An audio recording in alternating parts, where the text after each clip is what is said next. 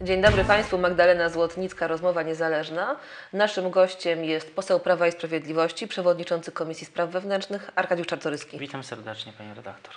E, Na wstępie chciałabym Państwu polecić najnowszy numer tygodnika Gazeta Polska, e, w którym mamy obszerny wywiad z panią premier Beatą Szydło, która jest także laureatką Nagrody Klubów Gazety Polskiej.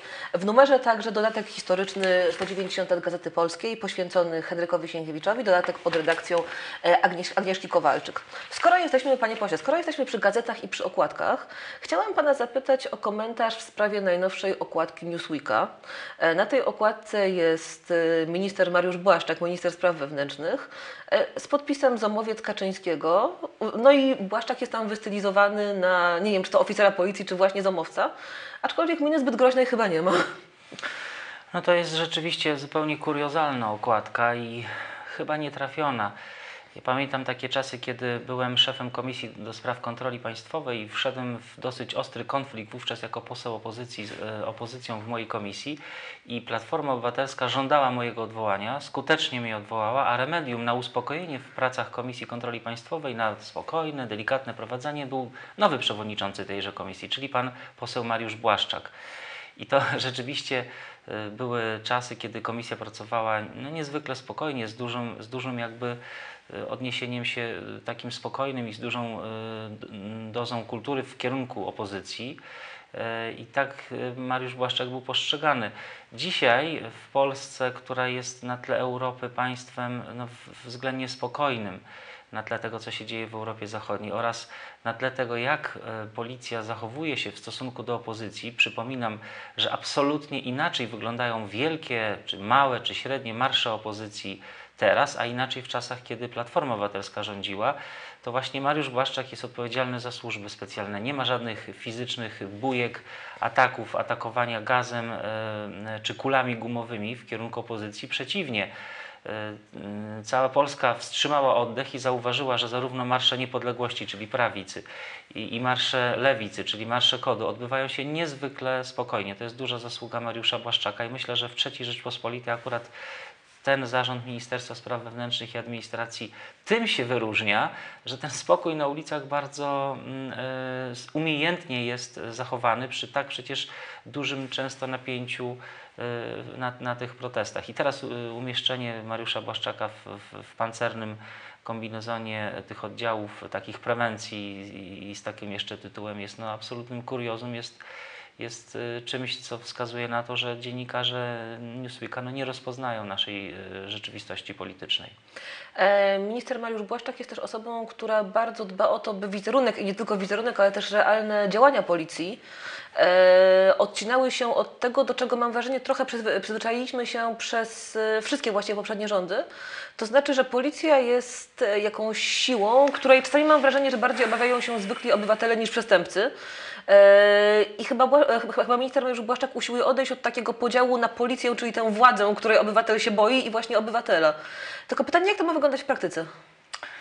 No tak faktycznie jest. To, to jest sytuacja, w której policja na przykład na tych już wspomnianych przeze mnie marszach raczej stara się wycofać niż konfrontować się z e, protestującymi. Raczej stara się zabezpieczać niż toczyć jakiś bój i narzucać własną, własną wolę. To na pewno policja pod tym względem się zmieniła. Y, Nie wiem, czy, czy wszyscy czytelnicy Gazety Polskiej jakby pamiętają ten moment, w którym Mariusz Błaszczak rozpoczął taki bardzo duży, zakrojony mm, na, na cały kraj e, obywatelski ruch wskazania miejsc zagrożenia.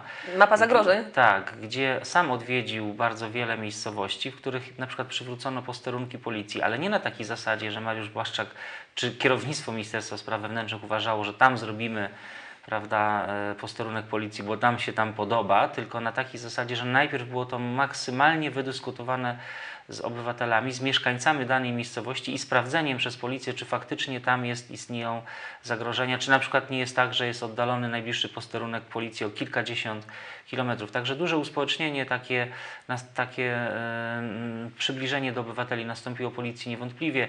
Te nowoczesne środki typu aplikacja Moja Komenda, gdzie każdy obywatel może wejść i sprawdzić, gdzie jest najbliższa komenda, ale przede wszystkim, gdzie jest najbliższy dzielnicowy, jak się nazywa, jak wejść z nim w kontakt, jak z nim porozmawiać. To jest bardzo duży przełom, bo To dla jest- większości obywateli Tak. dzielnicowe to był jakiś mit na takiej zasadzie, że wiedzieli, że ktoś taki istnieje, ale jak on wygląda i od czego jest, to, No to już był problem. Mi się wydaje, że obywatele to zauważają, bo w najróżniejszych sondażach policja ma dobre notowania. I nawet te ustawy, które musieliśmy wprowadzić na przełomie roku y, 15 i 16, przygotowując się do Światowych Dni Młodzieży i do szczytu NATO, czyli ustawa antyterrorystyczna i nowa ustawa o policji, tego nie zmieniły, wbrew larum, które podnosiła opozycja. Bez wątpienia to kierownictwo Ministerstwa Spraw Wewnętrznych, którym kieruje Mariusz Błaszczak, jeżeli chodzi o policję. Zresztą przypomnę też, że sama frustracja oficerów prawda, policji, bo przez wiele, wiele lat bez podwyżki, czyli kwestia podwyżek, kwestia powrotu do ustawy modernizacyjnej policji. Mm, Obywatele chcą, żeby w ich miejscowości komenda policji wyglądała przyzwoicie, tak jak w XX-XXI wiek to nakazuje, nie żeby była zniszczona.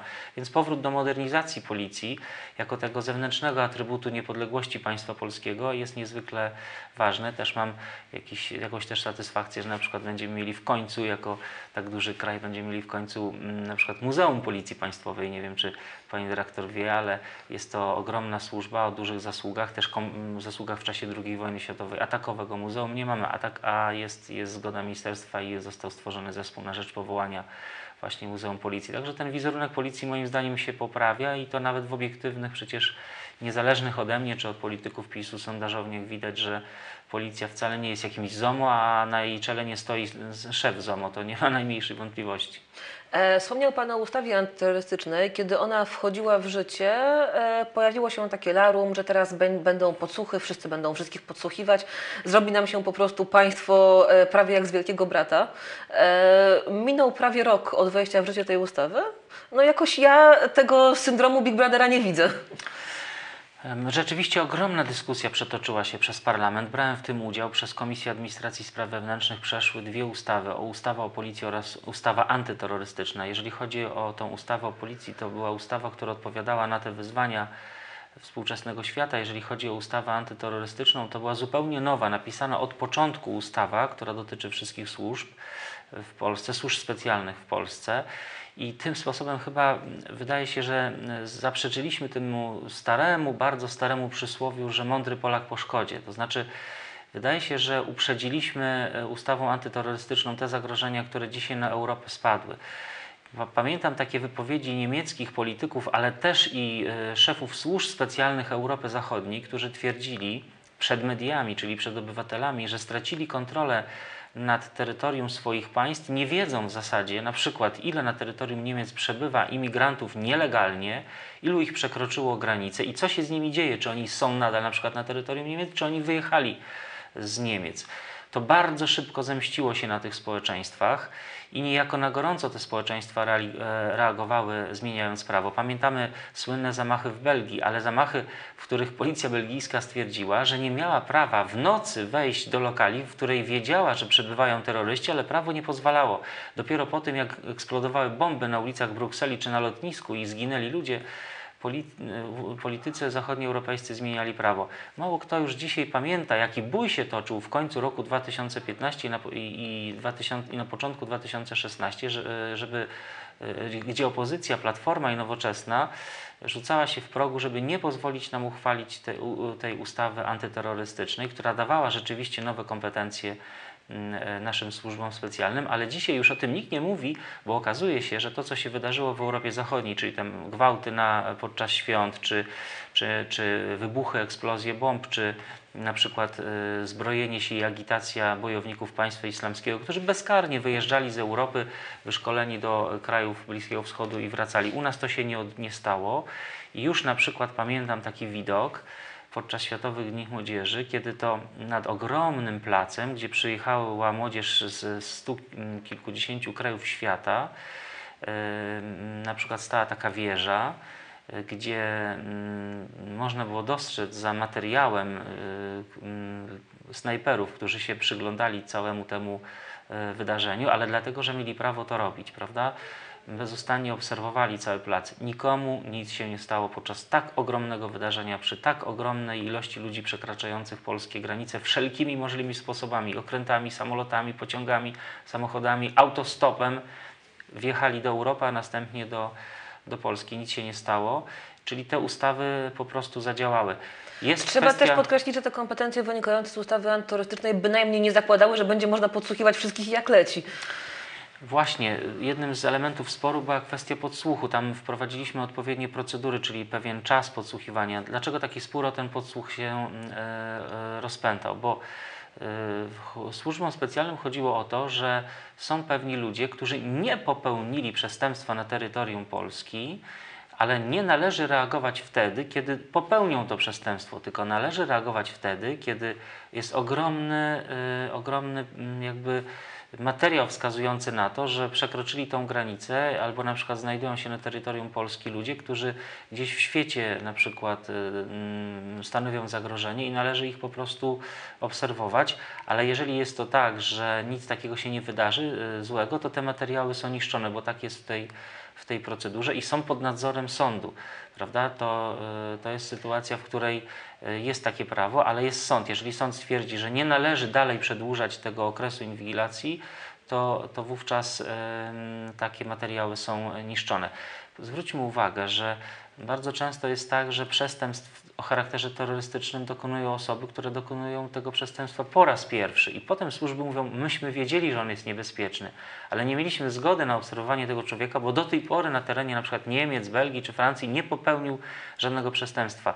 Ci ludzie, którzy na terenie Belgii nie popełnili przestępstwa, podłożyli bomby na terenie, na terenie Francji, prawda? A, a potem e, dopiero Belgia musiała zmienić swoje prawo, żeby ich ścigać. Bądźmy mądrzy przed szkodą, I myślę, że Polacy bardzo dobrze to rozumieją. Jeszcze raz wrócę do tych sondaży opinii społecznej, które wskazują na to, że Polacy chcą mieć służby, które sprawnie działają. I to, że jesteśmy państwem dobrym, poświadcza też to, że nasze służby są proszone o pomoc, polscy strażnicy graniczni czy polscy policjanci wyjeżdżają za granicę, żeby wesprzeć sąsiednie służby mm, specjalne sąsiednich państw, chociażby z tym problemem e, migracyjnym. Teraz to, co się wydarzyło w Ełku, to też jest nowe wyzwanie, prawda? Przygotowujemy, troszkę zdradzę tutaj na antenie, że przygotowywana jest też zmiana przepisów w tym zakresie, żeby ta zgoda na pobyt cudzoziemców, która trwa dosyć długo w Polsce, była skrócona i żeby taki cudzoziemiec oczekiwał raczej za granicą niż na terytorium Polski, na przykład 6 miesięcy przebywając na terytorium Polski na, na wyrażenie zgody na pobyt, bo przecież w tym czasie może stać się coś złego. Także i tutaj przepisy wymagają uszczelnienia, ale chcemy to zrobić szybciej niż to się stało w Europie Zachodniej, po prostu kierując się zwykłym doświadczeniem empirycznym, obserwując problemy zachodnich służb. E, Krótko, bo kończy nam się czas. Gdyby miał Pan wskazać e, największe zagrożenia dla bezpieczeństwa kraju w tej chwili, to co by to było? Wła- właśnie e, sprawa ewentualnych zamachów przez osoby z zagranicy, czy, czy, czy, czy, co? To znaczy dzisiaj mamy sytuację taką, że chyba e, Europa zrozumiała, że nie może iść tą drogą, którą szła i to, co kiedyś e, na przykład opozycja polska krytykowała, mówiąc, że zaprośmy tu setki tysięcy imigrantów, to raczej Europa Zachodnia zrozumiała, że nie tędy droga i to, co zrobili Polacy, Słowacy, Czesi, Węgrzy, Grupa Wyszehradzka, zaczyna powoli w Europie Zachodniej być obserwowane jako pewien wzorzec, że chyba ktoś się zapomniał i wydaje mi się, że polski pomysł na zwalczanie terroryz- tego terroryzmu jest dobry i tutaj to wymaga w najbliższym czasie kontynuacji, ale mamy też na przykład sytuację ogromnych przyjazdów chociażby z Ukrainy czy z państw Europy Wschodniej i tutaj wymaga na pewno wzmocnienia na, służb na naszej granicy, prawda? Musimy się przygotować na to, żeby jeżeli coś się wydarzy poza granicami naszego kraju, mieć kontrolę nad naszymi granicami, żeby nie było tak, że fale ludzi przekraczają bez problemu. Proszę zwrócić uwagę, że dzisiaj już na przykład z terytorium Ukrainy, nawet za zgodą urzędów pracy, ponad milion, milion zdaje się 200 tysięcy ludzi mm, z chociażby Ukrainy pracuje na, na, na- na naszym terytorium. Tutaj musimy być bardzo wyczuleni, dlatego żeby za na przykład takim podszywaniem się przez Euro, z Europy Wschodniej nie przenikali y, obywatele. Też mieliśmy sytuację y, granicy zachodniej, prawda? No tutaj to wymaga też jakby do precyzowania, jeżeli chodzi o... i No i chcemy też wprowadzić y, ustawa modernizacyjna, prawda? Proszę zwrócić uwagę, że dzisiejsza technika powinna być, najpierw powinna trafiać do służb. Na przykład w Anglii bardzo dobrze y, sprawdziły się kamery, które są na mundurach y, policjantów. Często ciągnące się długi czas sprawy y, sądowe są spowodowane tym, że inaczej odbierał daną interwencję obywatel, inaczej to policjant. Kamery na przykład w Anglii uspokoiły interwencję policjantów w sposób niepomierny. I, czyli do, doposażenie policji państwowej, nie takie standardowe w samochody, ale w nowoczesne urządzenia typu dron, typu kamera na, na, na mundurze i, i wyszkolenie policjantów, te problemy na przykład ze strzelectwem, gdzie tam te przysłowiowe kilka pocisków, z których musi się policjant rozliczyć. Nie wiem, czy pani wie, że policjant, oficer policji, który ma na przykład doświadczenie 15-letnie, nie może pójść do sklepu i na przykład kupić naboi, żeby podnieść swoją kondycję strzelecką. Takie, że jeszcze mamy parę rzeczy do zmian. E, Te zmiany są potrzebne. Warto pamiętać, że policjanci są od tego, byśmy czuli się bezpiecznie, zaś policjanci powinni pamiętać o tym, że bycie policjantem to przede wszystkim służba społeczeństwu. Ja Państwu serdecznie dziękuję. Naszym gościem był poseł Arkadiusz Czartoryski. Dziękuję bardzo.